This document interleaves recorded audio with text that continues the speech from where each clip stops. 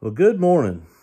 Um, I've prepared a little bit of a devotion here for everyone. Uh, I hope it can be something that speaks to y'all um, as it spoke to me. God has spoken to me um, through this process.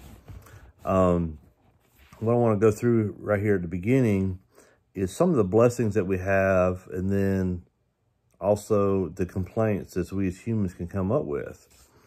Uh, first one is I'm blessed to have a family. Uh, God has given me a wonderful family, um, and I enjoy them. Uh, one of the complaints I could have is sometimes the kids act absolutely crazy. Um, there, I say things that I thought I would never have to say. Um, a blessing Another blessing is uh, food at meal times. Um, one of the complaints I could currently have is um, I really have to help Taylor cook. Uh, she still can't walk. I'm sure that it bothers her more than it does me. Uh, and after I work all day, then I come home and help cook. I could complain about that, but I, I have food on my plate. Um, a blessing another blessing that I have is uh, I'm able to go get groceries. Um, a complaint I could have is when I get to the store, the shelves are kind of semi-empty. They don't have my brand of Clorox wipes. Don't have any Clorox wipes, actually. Don't have my brand of cream cheese. I wish it was this kind of uh, brand or flavor of drink I could get, but they're out of that one. I have to go to another one. These are all these complaints that we could come up with. Um, one blessing that I think we have, we're currently using this, um, is technology to be able to continue to have church. As a church, we can meet and virtually speaking and listen to the messages and songs um, that God has for us. One of our complaints could be not being able to meet at the church as a group. Um, but we have this technology that keeps us connected. Um, one of the blessings we all have as Christians is the plan of salvation. Um, and one of the complaints that I could come up with personally with spiritual stuff is, why do I have to still work at being patient? Um, why hasn't God, quote unquote, cured me of that so I don't have to worry about that anymore? And um, right now, it's uh, one of the things I'm struggling with.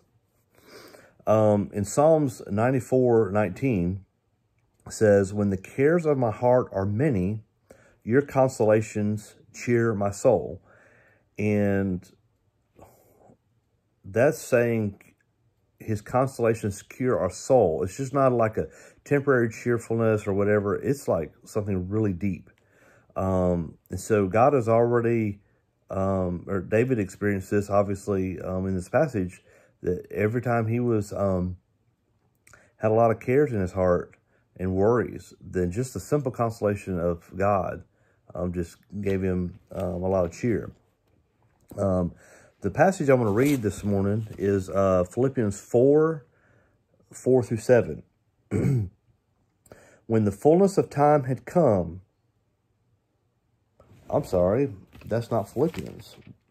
There we go. That was Galatians. Let's go to Philippians 4, 4 through 7. Rejoice in the Lord always. Again, I will say, rejoice.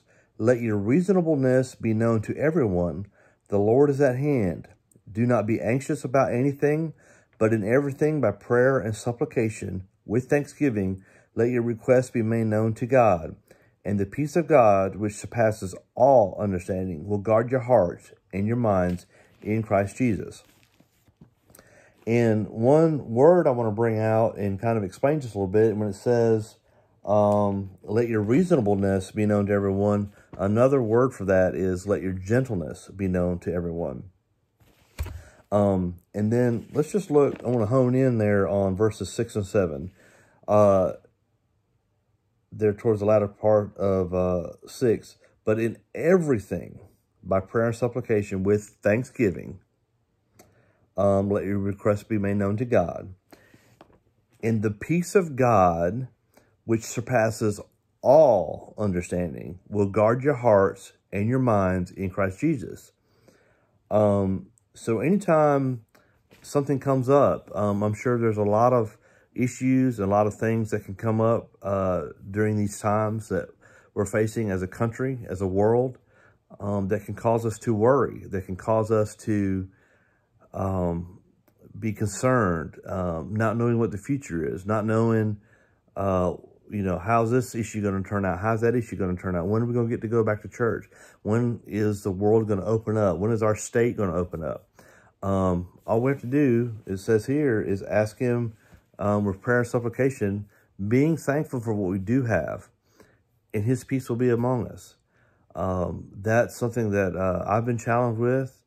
Um, I know that my family hasn't faced um, as many difficulties uh, during this time as what some have uh, around the world or even in our country and maybe even here in the county.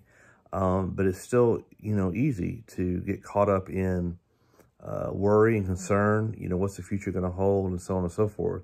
So I just encourage y'all to, um, you know, go to God.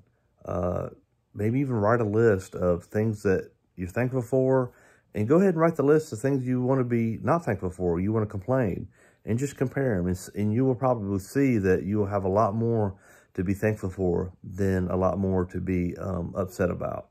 And um, I wish everyone a great week. And um, I'm looking forward to uh, meeting with everyone at church on a Sunday morning uh, whenever that time comes.